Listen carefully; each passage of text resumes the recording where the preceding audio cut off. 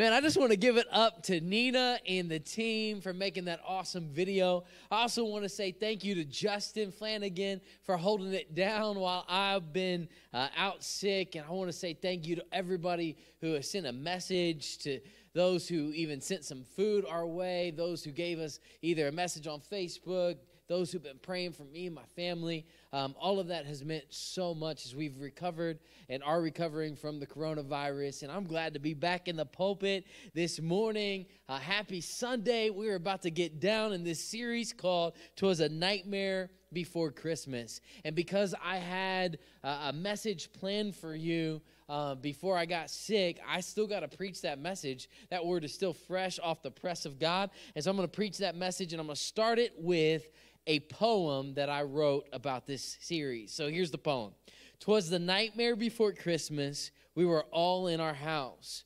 No one was going, not even our spouse. Restaurants were closed, and so was the church, as doctors and conspiracy theorists begin to research. Democrats and Republicans were all on one side as the election loomed over a sensitive time. We had riots and injustice, looting and death, yet there was still a glimmer of good news up ahead. Christmas time was here, and 2020 was coming to an end, which reminds us that there can be peace on earth, goodwill toward men. I know that this year has seemed like a nightmare. I'm telling you, these last two weeks for me and my family have been like a nightmare. But the good news about this time of year is that we celebrate that hope has come into the world, and his name is Jesus Christ. Peace has come into the world, and his name is Jesus. And I'm telling you, whether we see that peace here on this side of heaven or we're waiting for his second coming, where he's fully going to bring and, uh, and change all the wrong things and turn them into right, I'm telling you, we have some good news to talk about in the middle of the nightmares that we face. And so I just want to preach the next message in this series. As we're talking about the nightmare before Christmas, the next message is called The Nightmare State of the Nation.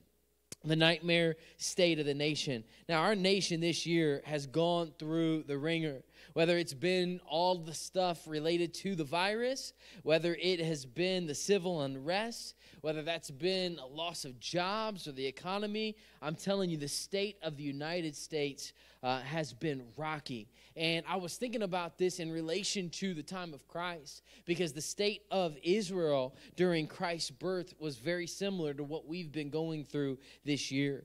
Matter of fact, the um, state of Israel um, during the time of Christ's birth was coming out of this 450 year period where they did not have a prophet giving the word of God. And so there was almost like this dry spiritual spell that they were in. You have also during this time that uh, the nation of Israel was under this oppressive rule of Rome. And so it was like they were prisoners in their own country. You see that they were divided in their politics, even. I know that some of this stuff is sounding familiar to our day. You had the Pharisees versus the Sadducees versus the Essenes versus the Zealots. This is just the state of Israel during the time of Christ's birth. There was even moral decay because of the influence of Rome over Israel. Because Roman government was there and they were uh, under their rule, you had a lot of their idolatry, a lot of their worldliness. And this was all around the same time. But right before Jesus was born, God sends a prophet to be born. See, we all talk about the birth of Jesus, and of course, that's the reason for the season. But there's also in the Christmas story this birth also of a prophet named John the Baptist. And we can read about this in Luke chapter 1. And I want to say this because I think this is so important. Uh, this nation is in this nightmare state, but God always has somebody. Come on, somebody. God always has somebody and something in his plan. I know that you might have been going through it this year. You've been going through it this last week, but I want you to know God still has a plan. And his plan was to send John the Baptist to the earth right even before Jesus. And this is why the Bible says that God had this plan. Luke 1:17, this is an angel talking to Zechariah, John's dad. It says he, John the Baptist, will also go before him, Jesus, in the spirit and power of Elijah to turn the hearts of the fathers to the children and the disobedient to the wisdom of the just, to make ready a people prepared for the Lord. This was the reason why John the Baptist was coming, even before Jesus, was to help turn this nightmare state of Israel, to help turn them back to the things that were most important. Now, I believe that the reason why 2020 has been what it's been like for America and for us is because I believe that 2020 has been like a John the Baptist uh, moment for us. I believe it's been like uh, John the Baptist, if you will, a prophetic season for you and I to look at our life, for us as a nation to pause and reflect and see what is really most important for us. Just just as God used John the Baptist in his day to help turn a nation to Jesus, I believe that God is using 2020 and our day to turn us to the same thing. And so I want to share with you three things 2020 has revealed about our nation, and you and I are who make up this nation. And so I want us to examine our own hearts in this as we share this message today. So the very first thing that I want to share with you that 2020 has revealed is one thing it has revealed is the distance between parents and children. Now, I know that I got some moms that are about to shoot me down right now, and you're saying, Pastor, I know you are not talking about me in 2020 because I don't feel like I've had any distance from my kids. Uh, I know a lot of moms might be feeling that way with all of the homeschooling that you've had to do this year, even this season that we're in right now. My, my wife is actually having to take care of, of our daughter's schoolwork. And so I know some of you guys are like, wait, wait, I don't know about that. Well, let's go back to what John the Baptist was said to do. And one of his main things that he was supposed to do to help turn the, this nation around, this nightmare state that Israel was in. Verse 17, it says, He will go before him, Jesus, in the spirit and power of Elijah talking about John the Baptist going before Jesus in the spirit and power of Elijah to turn the hearts of the fathers to the children. Listen, if uh, if you think about it, I believe one of the things that 2020 has exposed is that we inordinately care about things outside of our house more than the ones inside of our house. Y'all, I believe it's almost like we needed social distancing just to show us this year that the people in our house are more important than anybody else outside of our house. I believe it's been like John the Baptist as he came in his day to tell the nation of Israel the thing that was most important. I believe that that same thing is true today in our age and in, our moment in 2020 that, that the Lord is telling us, guys, if we want to see the nation turn around, that starts right here in your homes. See, before God made the church, before God made a nation of Israel, before God made or, or before the United States existed, God made the family. And I want you to know that the breakdown of a nation starts with the breakdown of the family. If we want to see our nation continue to go down a nightmare state, I want you to know that that starts in the family just as it does if we want to see us come out of that state if we're going to come out of the state, we need fathers to be uh, turn their attention back to their kids. We need fathers to turn their attention back to their spouse. We need mothers to turn their attention back to their kids. We need them to turn their attention back to their spouse. We need uh, the, all of the family members uh, to turn their attention back to God. We need to see homes restored, families restored, relationships in the house restored if we're going to actually see our nation rise again. But here in our 21st century America, it seems like we care more about keeping up with the Kardashians than we do keeping up with our child. Uh, I think that we care more in, in our nation, and I think this is what 2020 has exposed that we care more about who's going to be living in the White House than who actually lives in our house. Uh, our hearts seem to be caring more about things like playing Call of Duty instead of taking up our duty and taking care of those people in our house. It seems like we are so distracted by all the people on our social media pages that we have literally um, forgotten the people that we actually see every day in person. And, and if our nation's gonna change, it has to change first with our hearts going back to the people we have the most influence over.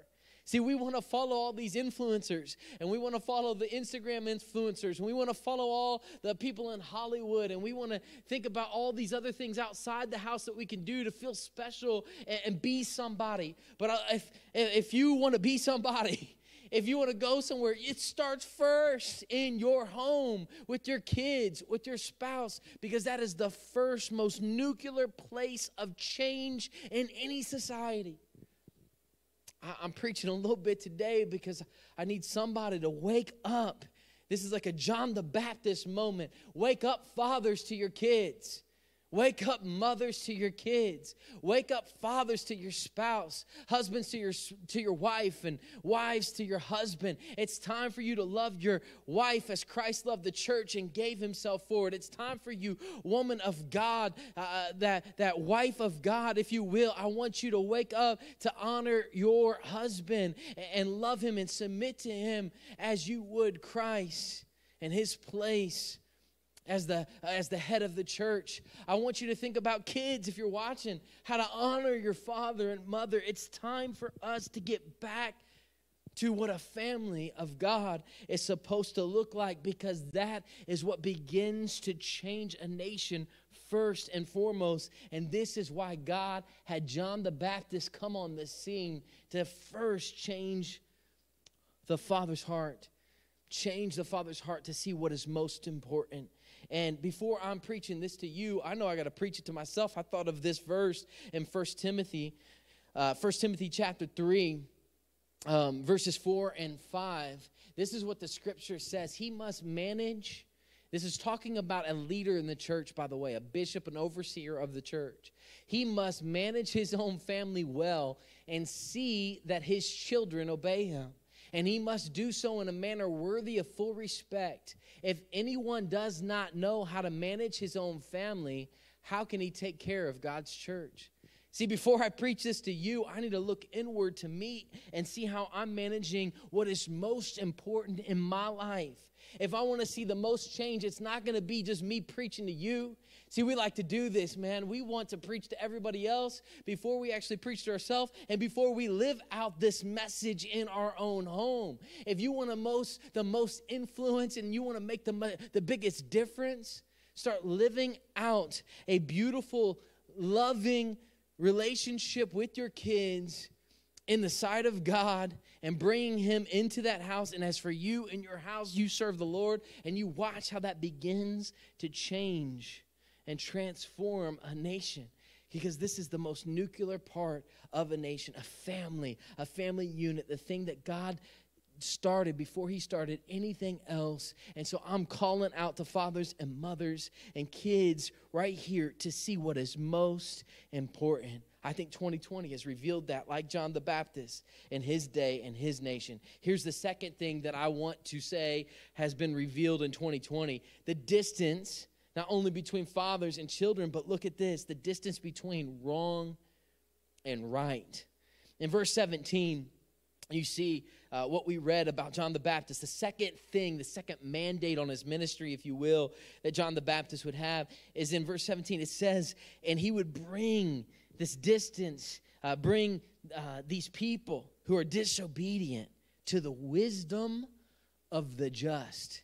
So you would see this, there's this distance even in his day between people that were doing wrong and right I want you to know that 2020 has revealed there is a distance today between people that do wrong and right, people that know the difference between wrong and right. I can say it this way I believe that there is a moral decay or a moral decline in our nation. And I believe that 2020 has revealed that. And it started during the pandemic when everybody was watching Tiger King.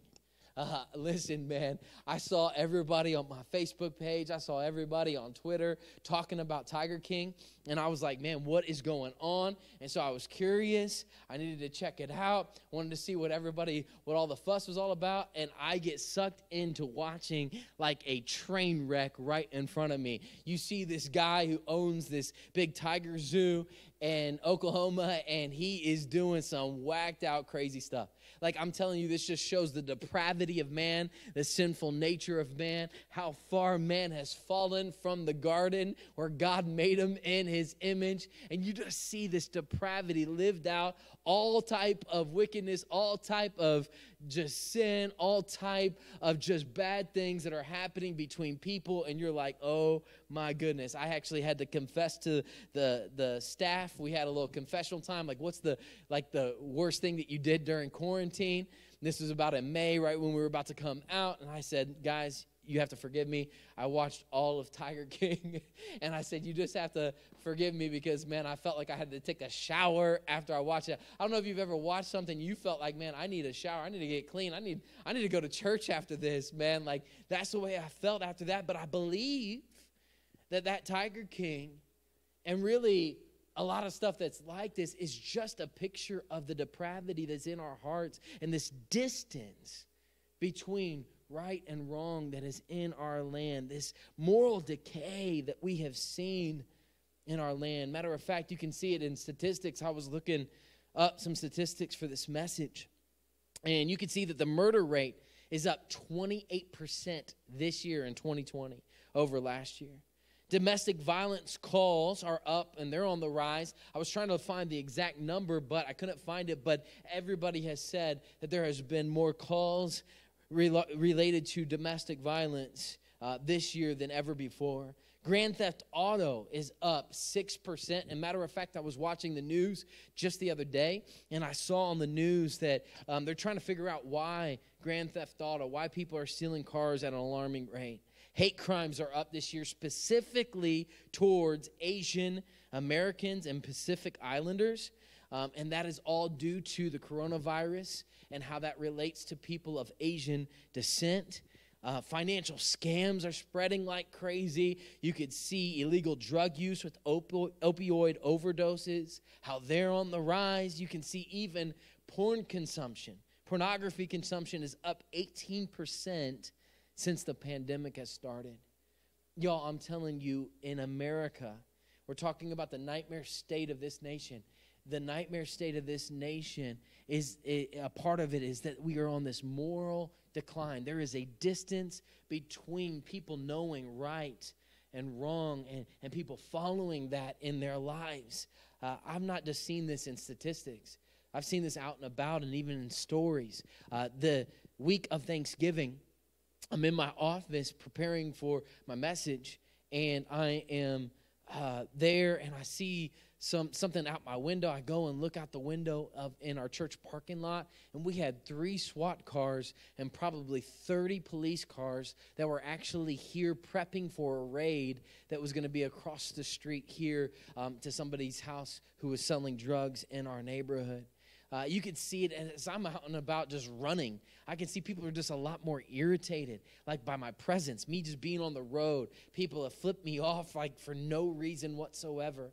I heard from my sister that my niece, who works at McDonald's, as you know somebody who's just taking in money from people she was telling me um, a couple weeks ago that olivia was there uh, taking money from customers and some naked man buck naked drives up and he's pleasuring himself in the drive through of McDonald's. Let me tell you something there is a distance between right and wrong right now in our nation. And a part of it is, is that we're not preaching justice anymore. We're not preaching righteousness anymore. We're not seeing that first in the home, but we're not seeing it, not even in the church. You, you can even come to some churches and find a, a, preaching of, of righteousness. And here's the problem with that and, and why we need this to return in our nation. Because Proverbs 13 34 says this righteousness, 1434,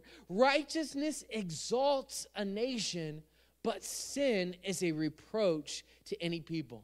Another version of that says sin condemns any people if we want to see the nation turn and, and go in the opposite direction and we can start seeing a real American dream instead of a nightmare, listen, what we're going to have to see is that righteousness is exalted.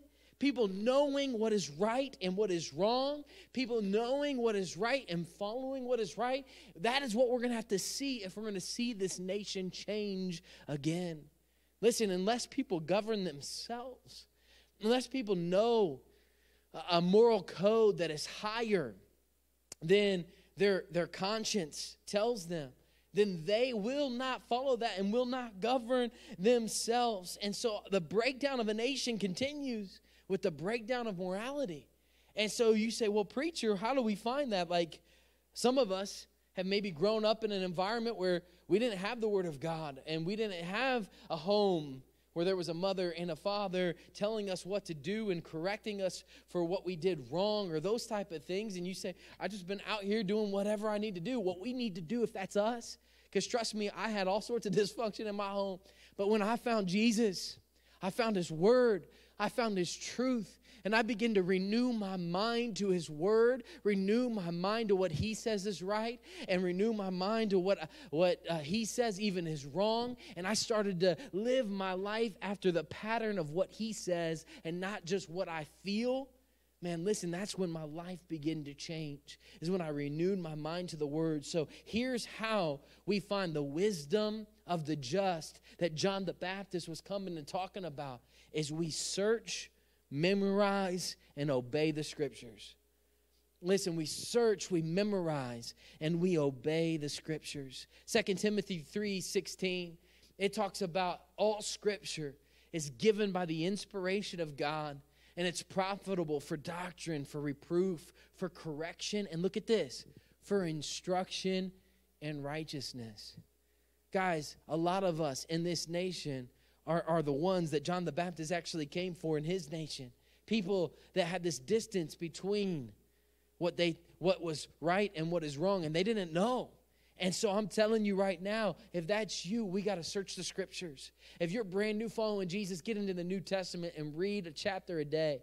If you're somebody who wants to know a little bit more about the Word of God, read the Bible through in a year because I'm telling you, we need to bridge the distance that we see in our land this, this decay. We need to bridge that distance between right and wrong. And here's the third thing that I believe that 2020 has revealed to us. It's revealed to us, just like John the Baptist in his day and his nation, that parents, they need to return their hearts to their kids. It's revealed that there's been this distance between right and, and wrong, and we need to see that, that, that gap come and, and, and actually we need to bridge that gap. But then the third thing is that there is a distance also between people and God. There's this distance between people and God. Verse 17, uh, the last part of John the Baptist's ministry is to make ready a people prepared for the Lord. Now, listen, the reason why John the Baptist came before Jesus, the reason why Jesus didn't just come on the scene and say, okay, I'm the Savior of the world, is because people wouldn't have been ready for him because they were serving other gods and they were serving other things and they were living for other things and they were serving and, and loving other things other than God. They were living in their sin and so they didn't want and they wouldn't have wanted the Savior. But John the Baptist comes like this prophet, and he's preaching repentance, which means to turn. And he's telling people, listen, you need to get your life right, and you need to literally cut down these things and, and take down these idols, and you need to do all these things so that you'll be ready for Jesus, the Savior, the Messiah, when he comes. And that reminded me, man, of this year because a lot of things have been stripped away this year in 2020. A lot of things. Maybe it's because of the pandemic. Maybe it's your work. Maybe it's money. Maybe it's sports. Maybe it's all these other things that we have been living for. All these other things that we've been going after. Maybe it's even some other sin in your life. But 2020 has gotten us and I believe has has provoked us to be at a place where we're recognizing, you know what? The only thing that really truly matters is Jesus and the things he says. I, I was reminded of a scripture in Psalm 24 um, where the Bible's talking about who's going to actually, who can actually have this relationship with the Lord. Who, who can actually get to the Lord? Uh, who can actually find him and follow him and be in relationship with him? And Psalm 24, 3 through 4 says this Who may ascend to the mountain of the Lord? Who may stand in his holy place? The one who has clean hands and a pure heart, who does not trust in an idol or swear by a false God. And I thought of that, man. That is exactly why John the Baptist came first. It's why 2020 has come even before the second coming of the Lord. Is because this is a moment for you to examine your heart. This is a moment for you to say, okay, who is my master? Who is my Lord? Uh, what, what am I really living for? What am I serving? What am I saying yes to? What am I obeying more than anything else? If that's not Jesus, then you aren't ready really for what he's wanting to do in your life. And this is why John the Baptist came. He says, Listen, if sin is that thing, you need to cut that thing down. You need to cut it at its root. You need to get it out of your life. You need to wash your hands from it. If another God is your master, you need to tear that idol down.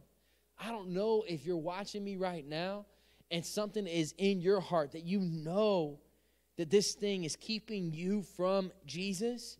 I'm going to be like John the Baptist and I hope that this year has been like that for you to for you to consider what is most important. I can't tell you enough and I can't tell you more emphatically that Jesus Christ is the King of Kings and the Lord of Lords and there is nothing more important in your life than having a relationship with him. He said this even just like John the Baptist. Jesus came preaching this in Matthew 6 24. He says, We can't serve two masters. For either he will hate the one and love the other, or he will be loyal to the one and despise the other. But you can't serve God and mammon. That's money he's talking about in this portion of Scripture. I don't know what, what idol is in your heart. I don't know, maybe if you're just on the fence in the things of God and one day you're here and one day you're there. Listen, Jesus has to be Lord of your life. Maybe you've prayed a prayer even, and you've prayed and you said, Lord, come into my life, be my Lord and Savior, but you haven't truly, fully prepared your heart for the King of glory to come in. You haven't truly like cleansed yourself to the point where you're saying, you know what? I don't want any of this other thing more than Jesus. It doesn't mean you have to be perfect. Jesus died on the cross for every single one of your sins, but you at least have to open up your heart to say, I need Him, and I want to worship Him, and I want to serve Him more than any of these other things. That's why John the Baptist came. And if our nation's going to turn around, one of the things that we need to understand is we got to choose the right Lord. Another breakdown of a nation continues when people choose the wrong Lord. All of us are going to have some master. All of us are going to have some Lord. The Bible says, whoever you obey, that's whose servant, that's whose slave you are. So that's either going to be Jesus to righteousness and holiness and the life that he has for you, or it's going to be sin unto death. And this is why Psalm 33 12, part 1 says, Blessed is the nation whose God is the Lord Jesus Christ. Who is the Lord? I don't know where you're at in your relationship with God. I don't know where you're at in this relationship to this message. I don't know what 2020 has been hitting you with. But I do know that first and foremost, the Lord wants to minister to you in such a way where you come back, and maybe that's you. As we're going into this prayer time, I want you to think about this. Maybe it's you where the Lord's just speaking that you need to return your heart to the thing that's most important, the things and the people in your house. Maybe you're here and you just need to repent of, you know, putting other people and other things before your family. Now is your moment just to repent of that. Maybe you need to actually put some dates in the calendar for you and your spouse or you and your kids, for you to have personal time and connection. And maybe you need to to get to a place where you know what we're going to read the bible or pray or they're at least going to see me do that. We're going to come to church together. Those type of things saying you know what as for me my house we're going to serve the lord. Maybe for you it's the second uh, part of the message where you're like you know what i need to know a little bit more about right and wrong and i need to understand that and i need to change my ways a little bit and i need to start repenting. If that's you maybe the Lord's calling you to get into the Word this year in 2021. Start the Bible, uh, you know, read through the year, at least read through the New Testament. Starting to understand, okay, how is God calling you to renew your mind? And maybe you're watching and you don't know Christ as your Lord. Maybe you've prayed a prayer before, but you've never fully surrendered your heart to the Lordship of Jesus Christ. Or maybe you need to do it again because you've been serving another idol. You've been getting your hands in some other sin that you don't need to be in. I want you right now to repent in your heart. Let 2020 just reveal to you, just like John the Baptist, the things that are most important in preparing our heart for the Lordship of Jesus in our life. So, Father, we just thank you for this word, this message, that it's a moment of reckoning for all of us, that we got to repent and turn and say, Jesus, you are most important and your and, and what you call us to the right living in our family life and that type of thing. It is the most important thing for this nation. Because father you're calling this nation to change and this nation starts with me and and my family changing and and me and my influence is changing. And so father would you just help us right here today right here and right now just to, to submit to the lordship of jesus christ. We thank you that jesus christ came and he's coming again. Before he comes you said just in your word, you'd be bringing a John the Baptist like an Elijah to come and get our hearts right. And so make them right today as we put our faith in you. We love you, Lord, and we thank you. In Jesus' mighty name, amen and amen. Thanks for joining us for worship today. I'm John Collier, and I hope today has inspired you to love God and to love others more. We always want to take some time at the end to pray for you, especially if this is the first time of believing that Jesus Christ is your Lord and Savior. Let's pray. Father, forgive us of our sins. Thank you for sending your Son to die on the cross and raise again so that He can be King and we don't have to be. Help us to learn more about you so we can live more like you. we want you to connect with us and we want to connect with you. You can comment down below or go to diversitychurch.net and we'll see you again next week.